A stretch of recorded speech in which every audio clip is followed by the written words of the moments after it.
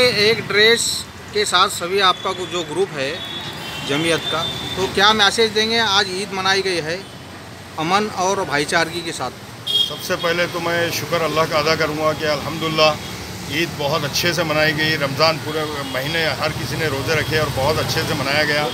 ये हमारी जमयतुलमा की टीम है और जमयतुलमा अल्हम्दुलिल्लाह, आपको मालूम है कि रिफाई कामों में उसमें आगे रहती है। तो आज हम लोग ने एक सोचे कि एक अपन, एक मैसेज एक समाज में, एक माशरे में एक मैसेज अच्छा सा जाए कि सब इसी तरह की यूनिटी बनाए रखे, आपस में दोस्तों का भाईचारा इसी तरह से बनाए रखे। इसके लिए अल्हम्दुलिल्लाह हम लोग ने सब एक जैसे ही शर्ट ड्रेस टोपी शूज़ सैंडल जो भी है, इस तरह से सबने सेम किया है। अलहमदिल्ला हमारा पंद्रह का जो ग्रुप है, रोशन गेट का, और सब ग्रुप एक ही जैसा अमन और सुकून से ईद मनाने का कोशिश की।